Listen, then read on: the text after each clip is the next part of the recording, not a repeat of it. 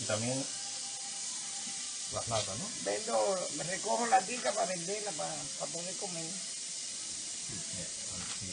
¿Quiere saber cómo, cómo era con Fidel que usted veía mejor? No, a Fidel en todo. Fidel buenísimo con, con el pueblo. Todo el mundo quiere mucho a Fidel. She says that Fidel a hero, ¿no? Sí, todo el mundo a Fidel Everybody loves him. Pero, ¿y, qué. ¿y qué pasa con Raúl? No, no es que pase, el Raúl no es malo, sino que la economía está muy, muy bajita. ¿Entiendes? Está muy baja la economía, que, que él dijo que iba a aumentar la chequera, que iba a aumentar salud pública, que iba a aumentar esto, pero todavía no se ve nada. No se ve el movimiento de nada. Fidel era más rápido, ¿entiendes? Fidel las cosas las hacía más rápido. Fidel decía, tal día esto, y en el momento.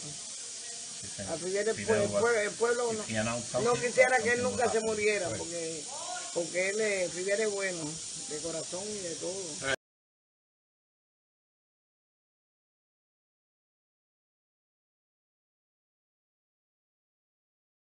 Bueno, eh, viviendo aquí me siento mal, ¿entiendes? Pero como revolucionaria todavía lo sigo siendo y estoy albergada de 70. ¿No creen, ¿No creen que peligra su vida al encontrarse aquí? Sí, yo sé que peligra, pero ¿qué voy a hacer? ¿Para dónde voy a ir?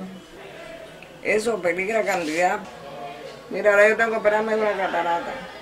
Ahora estoy con el derrumbe, este, ahora yo tengo que programarme más la operación, porque no puedo subir así un salón. Porque tengo miedo, tengo miedo, mira ahí arriba.